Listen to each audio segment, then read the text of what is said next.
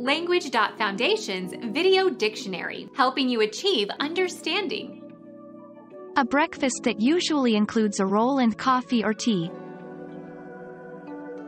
Petit déjeuner.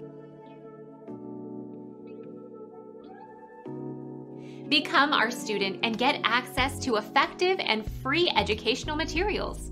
Subscribe to our channel to become a part of our growing community and to learn English effectively.